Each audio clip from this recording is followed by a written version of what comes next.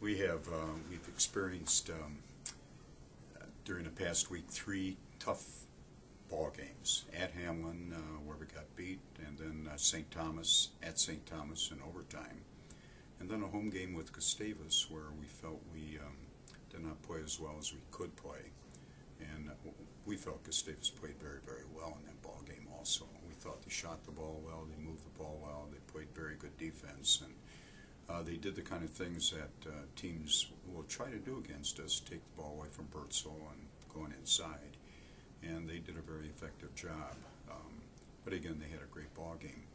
Uh, fortunately, we turned it around uh, with uh, Bethel at Bethel, uh, and Bethel has returned quite a few um, quite a few of their ball players who had been injured earlier, and they're very they're a very good basketball team. They had just finished beating um, Gustavus and they had been on sort of a roll, so we knew we'd have a tough ball game going into it.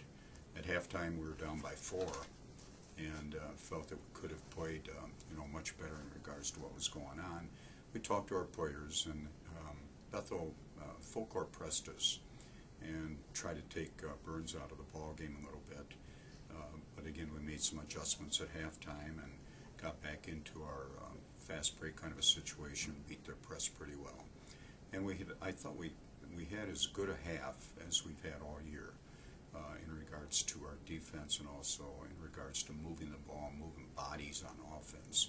Uh, we felt that we moved the ball well. We got the ball inside, got the ball kicked back out, and going down near the end of the ball game, I think we we valued the possession of the ball a little bit better than we have in the past. So it was a great win for us, a great team win, and um, we had so many people who contributed to the game.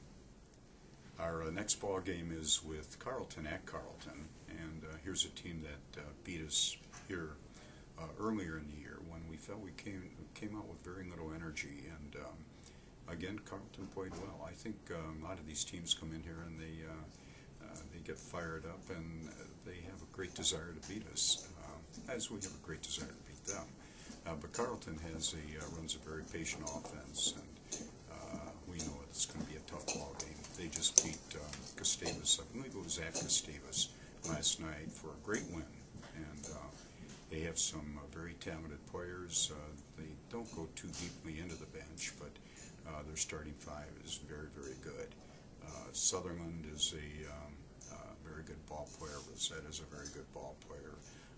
and they have a couple of new ball players, freshmen who have contributed a great deal to their um, to their game also. So they're in the uh, they're in the same kind of a position that many teams are in the conference, uh, trying to make that final six for playoffs at the end of the year, and it's going to be a real logjam. It's going to be uh, it's going to go right down to the very final week and maybe to the final ball game to determine who's going to be playing. And Carleton should be in the uh, should definitely be in the mix.